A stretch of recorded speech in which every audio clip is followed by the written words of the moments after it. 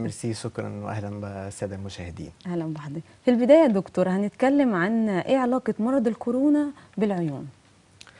دايما كده بنقول إن العين هي المراية اللي بيها نقدر نعرف الجسم عندنا عامل إزاي. نقدر نخش جوه الجسم من خلال بوابة العين بتاعتنا. يعني إيه الكلام ده؟ يعني إن مثال آخر واحد جالي إمبارح في العيادة ببص في عينه ولقيت عنده مظاهر إن هو ممكن يكون عنده مرض السكر بقول له سكرك كام؟ قال لي آه لا أنا ما عنديش سكر. نزل حلل طلع سكره عالي جدا. ده اللي إحنا بنقوله إن ممكن أمراض كتيرة جدا نشخصها من خلال العين. طيب بالنسبة للكورونا أو آه، فيروس آه، كوفيد 19 آه طبعا في علاقة في العين. في أمراض كتيرة جدا آه، زي الكوفيد. عرفنا إن المريض ده عنده كوفيد من عينه.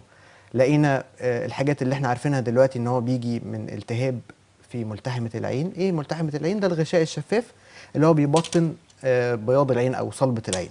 بيجي فيه التهاب فيروسي وده بيبقى طبعا أدام إحنا في الايرا بتاعه الكوفيد بنشخص إن هو آه، كوفيد وبنبعته يعمل التحاليل.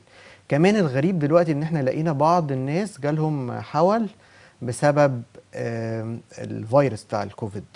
آه، يعني هو لسه ملوش تفسير علمي بس تفسيرنا الشخصي إن هو زي ما مرض كوفيد 19 بيسبب آه، تكوين جلطات في الجسم زي الرئة لا قدر الله أو حاجة زي كده. بيحصل برضو عدم وصول تغذية لعضلات العين مما بيؤدي لحول في بعض الحالات النادرة يعني. يعني